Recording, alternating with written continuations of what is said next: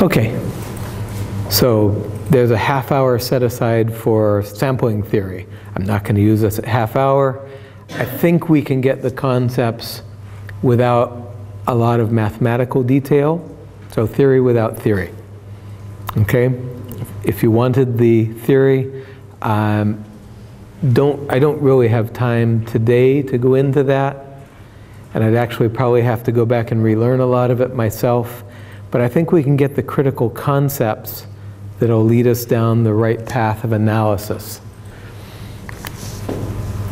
So there, there are some really critical points. I'm going to start sampling, right? Maybe I go out every day this week and watch birds instead of eating lunch. So one hour in Kirsten, Kirstenbosch Botanical Gardens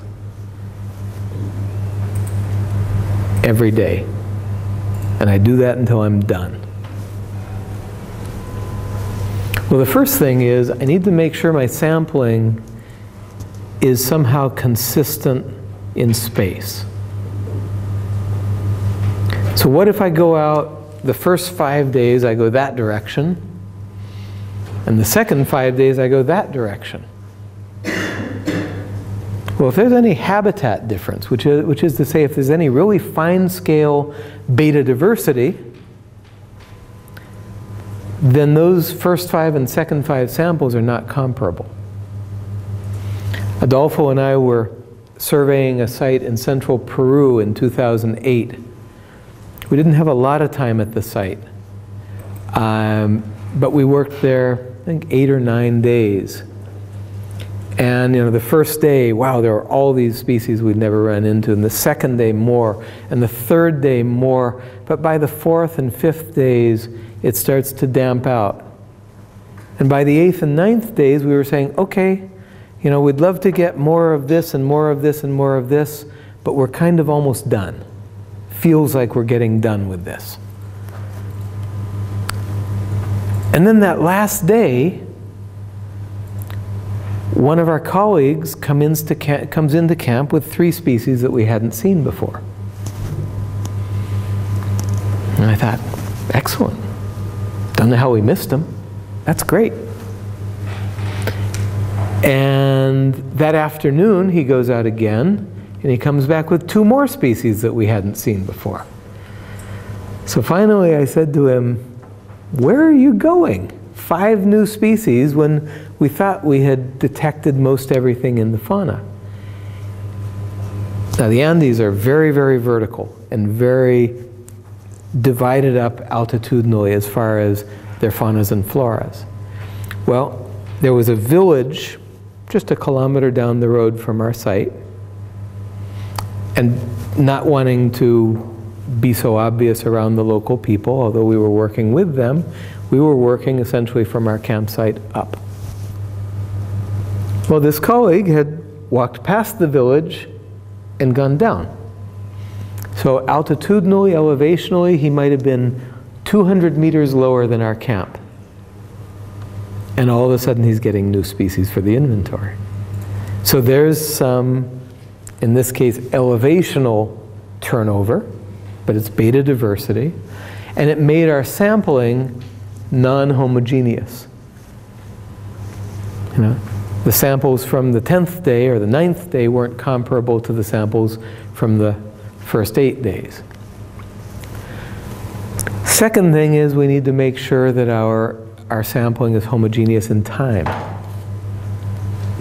You know, maybe I go out at lunchtime each day for an hour, but maybe on Friday, not not wanting to miss Rafael's lectures, I only go out for 15 minutes. Well, my probability of detecting different species changes. And you're going to see that that accumulation of effort through time becomes really critical in how we learn from these, these um, samples. So that's another one that's important. Essentially, what we're talking about is that each sample has to be comparable to each other sample. It has to be kind of picking blindly from a pool, but without biases in what part of that pool of species I pick from. Otherwise, it's going to be very hard to make any conclusions from um, these inventory data. So essentially, we're after accumulating samples in a consistent and comparable way such that quantitative estimates can be derived from them.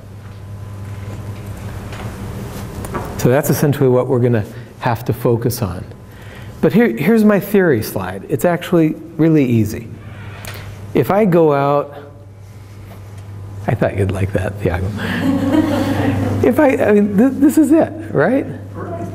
If I go out and sample a world, and all I find is cats and rabbits, lots of each, how likely is it that there are 40 species in that fauna? I sampled nine. And all nine of my samples were one or the other of two species. But then I go to a different place, I take nine samples, and I get all different. Mean, this is really simple. if you check something multiple times and you get a limited set of results, then you pretty much know how big the set is. But if you check something multiple times and you always get a different answer, there are probably a lot of answers out there. Yeah? Doesn't that also depend, um, thinking of a local example, certain sites, if you sample the same time every day, you'll either get a limited sample, but then you sample at night, and you get a completely different sample. So it also depends on how you plan your sample. Yeah, it's a, it's a very good point. Day, night, summer, winter. Yeah, again, it all comes back to those samples have to be comparable. So you want to do your inventory in a circumscribed time period because essentially what you're always doing in these approaches is assuming that it's the same fauna or the same flora that you're sampling. If I go out into Kirstenbosch for a day during the day versus during the night, during the day I see those starlings out there, and during the night I see owls, or I hear owls. Okay? It's a different fauna that I'm sampling. Very good point. Um, so yeah, we have, to, we have to think very carefully about that. We can also think about doing that sampling hierarchically. I'll comment on that just a bit at the end. But we want to get to all of the species in our taxon. So we want the daytime, we want the nighttime, we want the spring, summer, winter, and fall. But we also want to build those sensibly into our, into our estimates and our calculations. Okay? So there are kind of three levels of detail, and I'm going to ignore the most detailed set of, uh, of information. And that's this. Imagine that we have a list of species and we have our samples. Right? Could be today, tomorrow, Wednesday, Thursday, Friday. Could be this minute, this minute, this minute, whatever. But species by samples. And in that matrix, we could have abundances, essentially numbers of individuals. Now that's clearly a very detailed data set. And in some cases, it makes sense. For example, if you are a, an entomologist, some groups of insects are best trapped with light traps. And assuming that you can identify all the species that fall in that light, light trap, and assuming that you have enough time to count all of the individuals of each of those species, then a fully fleshed out matrix is, is reasonable.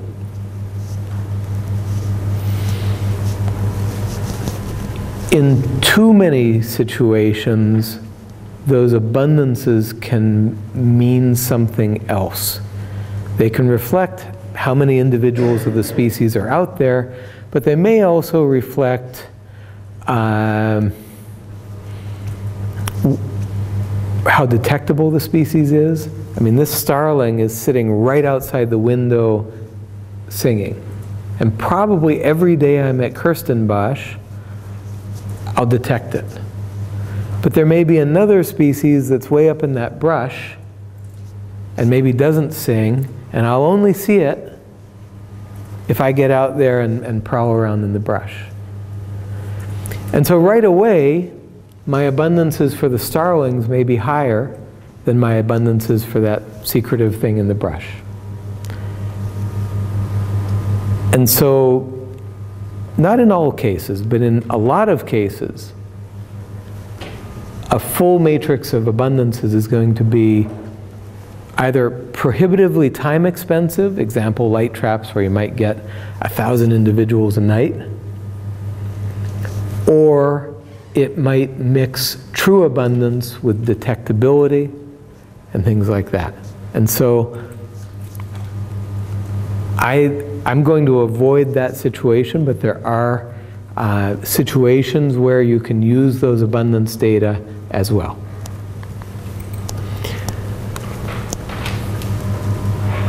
More reasonable is just imagine if in each of our samples we can identify each species. It doesn't matter if we see a thousand of them or one of them. The question is that I see that species in that sample. Okay, so that's kind of a, a second level of, a, of detail.